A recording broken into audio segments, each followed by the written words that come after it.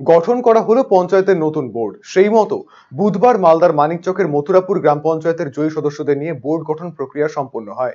উল্লেখ্য, এবারের পঞ্চায়েত নির্বাচনে এই পঞ্চায়েতে তেইশটি আসনের মধ্যে সংখ্যাগরিষ্ঠতার ভিত্তিতে প্রধান হন বিজেপির মৌসুমী মণ্ডল, উপপ্রধান হন বিজেপির অজিত ঘোষ। কতজন সদস্য সমর্থন করেছিল আপনাকে তেরো জন। সবটি আপনার দলের? তেইশ আর তৃণমূলের ছিল অন্যরা। আরও দুজন সদস্য তো আসেনি। দুজন সদস্য তো আসেনি। ওরা কোন দলের ছিল?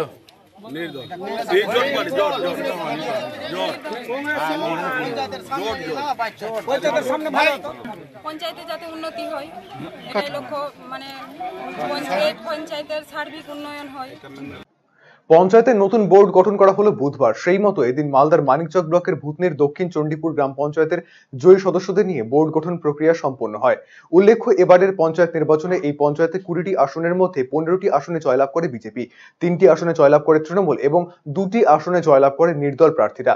ভোটাভুটিতে সংখ্যাগরিষ্ঠতার ভিত্তিতে প্রধান হন বিজেপির শক্তিমণ্ডল, উপপ্রধান হন বিজেপির পুনাম মণ্ডল।